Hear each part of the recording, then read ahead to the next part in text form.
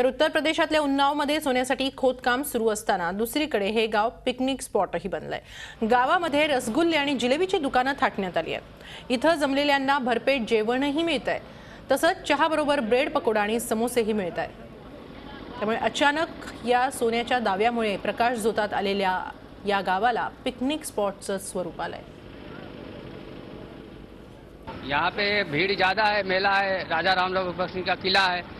और सरकार जी ने बताया कि आप जैसे कि सोना है तो खुदाई हो रही तो भीड़ है, काफ़ी दूर दूर से आदमी आ रहे हैं। तो उनको दिक्कत हो रही है यहाँ खाने पीने की चीज़ों के लिए तो हम अपने स्टॉल लगाए कि आदमी को यहाँ भूख प्यास से बेहाल ना होना पड़े। दुकानदारी ठीक हो रही है, भीड़ भी बहुत है। पब्लिक का भी जो लाभ हो रहा है कि कम से कम उसे नाश्ता पानी करने के लिए जो है समय मिल जाता है जो है। और यहाँ जो खुदाई हो रही, इसमें 100 परसेंट तो हमारा विश्वास है कि नहीं, स्वामी जी के ऊपर आस्था जमी हुई हमारी लोगों की नहीं निकले का धन जो है, ऐसी बात नहीं है। झी चोवीस तास एक पाऊल पुढे.